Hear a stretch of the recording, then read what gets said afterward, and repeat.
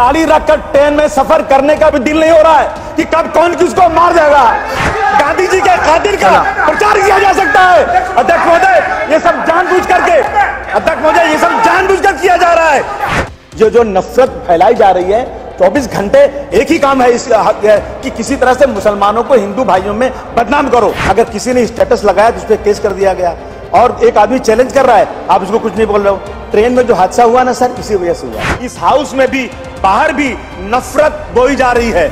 अध्यक्ष भाई इस नफरत बोने की वजह से उस उस उस, उस, उस कांस्टेबल ने सोचा तो आदमी को उम्मीद होगी कि मुझे भी कल कोई पद मिल जाएगा अगर मैं ये काम करूँगा। झूठ कसरत की बदलत मुस्तनिद हो जाएगा और सच बेचारा तन्हाई में रद्द हो जाएगा। वो तो व्यक्ति कोई पागल नहीं था मानसिक बीमार नहीं था। अध्यक्ष महोदय उसने दरवाज़ा खोल के एक आदमी उसको पकड़ एक आदमी उसको रोक रहा है उसको दाढ़ी नहीं थी। उसको धक्के मार के छोड़ा, जो दूसरे आदमी को दाढ़ी थी, उसको निकाला।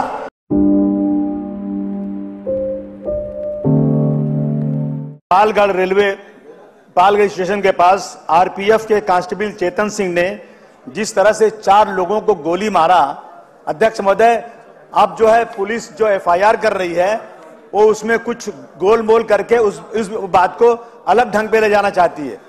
अध्यक्ष महोदय, उस व्यक्ति ने, उस, वो व्यक्ति कोई पागल नहीं था, मानसिक बीमार नहीं था। अध्यक्ष महोदय, उसने दरवाज़ा खोल के एक आदमी को एक आदमी उसको रोक रहा है, उसको दाढ़ी नहीं थी, उसको धक्के मार के छोड़ा, जो दूसरे आदमी को दाढ़ी थी, उसको निकाला, तीन लोगों को गोली मारा, और लाश पर खड़ा होकर यह कहता है, अध्यक्ष महोदय, लथपथ शख्स के साथ कहता है कि बंदूक हाथ में लिए हुए, कि इनका ये ऑपरेट पाकिस्तान से होते हैं हमारी मीडिया यही कवरेज दिखाएगी।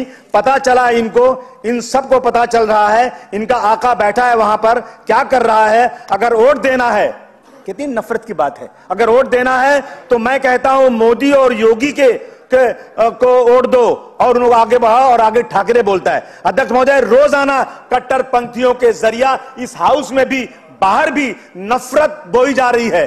अध्यक्ष भाई इस नफरत बोने की वजह से उस उस उस, उस, उस कांस्टेबल ने सोचा कि जब गुजरात की वो जो लेडी थी गुजरात में आ, उसका रेप हुआ बिल्किस बानो और उस रेप रैपिस्ट को उम्र कैद हुई और वो रेपिस्ट इनके करीबी थे तो तो तो सेंट्रल गवर्नमेंट से ऑर्डर दे करके उसको छोड़ दिया गया। इस आदमी को उम्मीद होगी कि मुझे भी कल कोई पद मिल जाएगा अगर मैं ये काम करूँगा। अध्यक्ष महोदय बहुत खराब समय चल रहा है। मैं गाय के नाम पर, बैल के नाम पर, लव जिहाद के नाम पर झूठ, अध्यक्ष महोदय, कहा गया कि ये, कि झूठ कसरत की बदौलत मुस्तनिद हो जाएगा। झूठ कसरत की बदौलत मुस्तनिद हो जाएगा और सच बेचारा तन्हाई में रद्द हो जाएगा।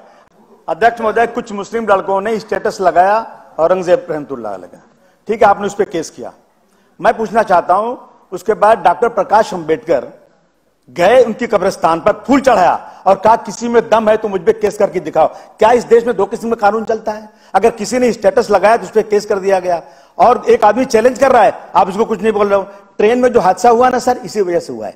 जो जो नफरत फैलाई जा रही है 24 घंटे एक ही काम है इस कि किसी तरह से मुसलमानों को हिंदू भाइयों में बदनाम करो। ये चीज़ लाओ ये लाते हैं ऐसी चीज़ें।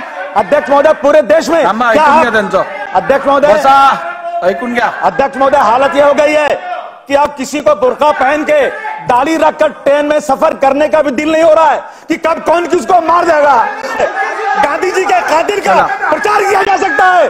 अध्यक्ष महोदय ये सब जानबूझ करके अध्यक्ष महोदय ये सब जानबूझकर किया जा रहा है।